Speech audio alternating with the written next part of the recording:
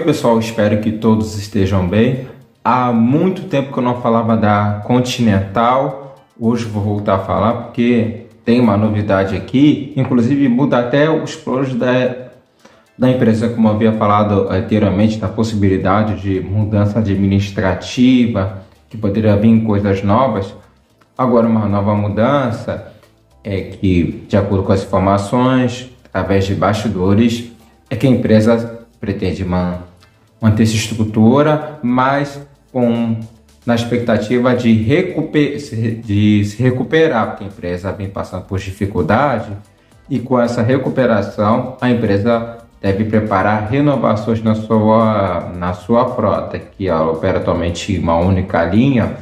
Essa renovação serão com dois ônibus, agora só não sei de fato se serão ônibus novos ou se serão seminovos.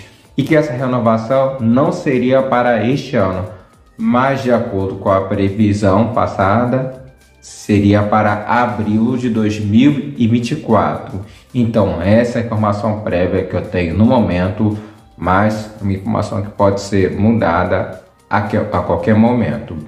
E o, um outro plano para a empresa, que isso foi uma proposta já apresentada há, há uns tempos lá atrás, em que é uma proposta que, que se for levada adiante, pode ajudar também na a empresa. Por quê?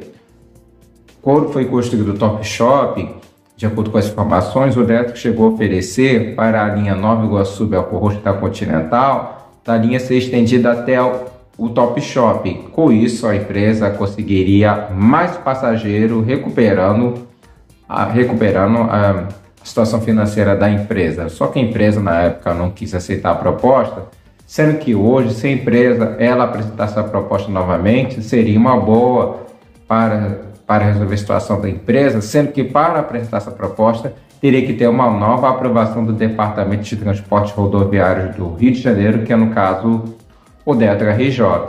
Então, gente, é essa novidade que eu tenho no momento, torcer, né, para essa nova etapa da empresa.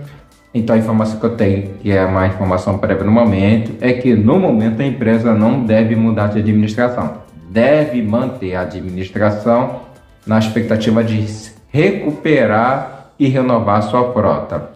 Então é isso, gente. Espero que vocês tenham gostado. Mais novidades em breve. Continue acompanhando meu canal para quem gosta desse tipo de tema. Eu ficarei por aqui. Até a próxima.